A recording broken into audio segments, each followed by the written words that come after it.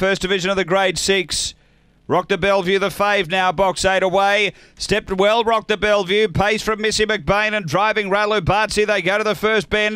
Ralu Bartzi's going to get through to lead from Rock the Bellevue. Uh, three away next is Missy McBain. Uh, then Dream a little into the clear. Next is Abelor and about four away Dinah Chirpy. And Amari Bale is last of all off the back. Rock the Bellevue out by three to Ralu Bartzi. Running on Dream a little. Up to the bend. Rock the Bellevue straight and clear. Over Dream a little. Rock the Bellevue. Bellevue in front and Rock the Bellevue holds off uh, Dream a little behind those Dinah Chirpy. Next is Missy McBain from Abelor. Uh, then Amari Bale, Ralu Bartzi back at the tail end. Another one for Cameron Butcher.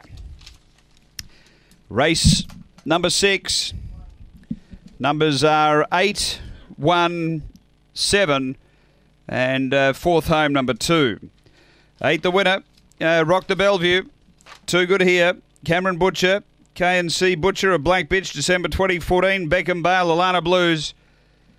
Number eight first, second to one. Dream a Little for Jan Jones, a Black Bitch, February 2015. Banjo Boys Day. And uh, seven, Dinah Chirpy, Tony Rasmussen, a Black Bitch, October 2014. Casey Anali, Tonelli Bale. 8172, race six here at Angle Park.